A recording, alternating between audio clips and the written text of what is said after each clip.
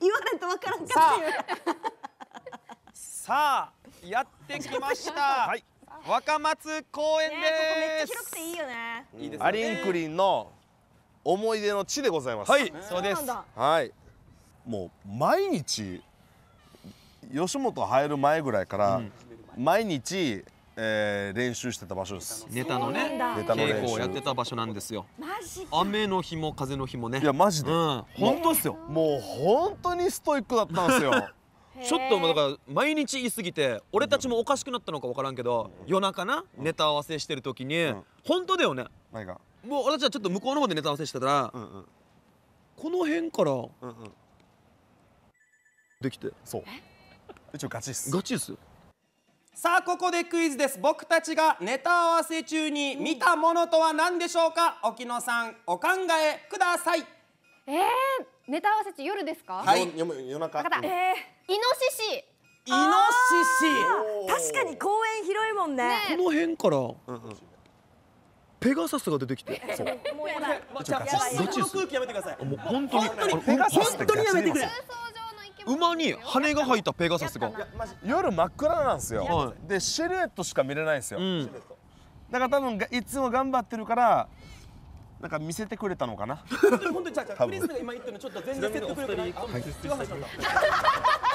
成した理由は、えっとまあもともとすごいあの地元でもう誰もが認める面白いキャラだったんですよ。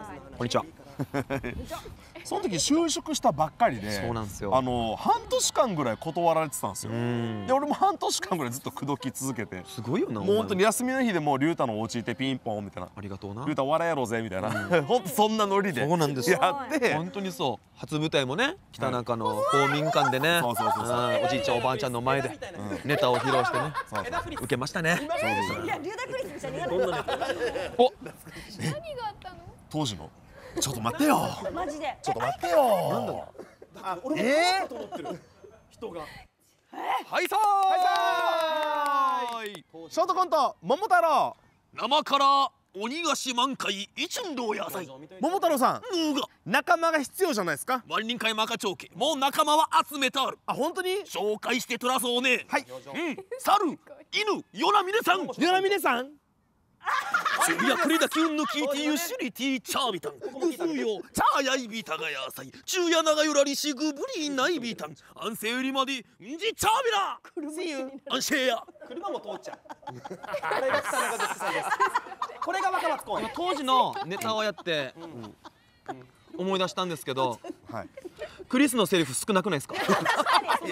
あの大体こんな感じよ。もうカロリー少なくない？カロリー少ないって。確か振り返ってやったらちょっとわじわじしてきました。思い出してイライラしてきてる。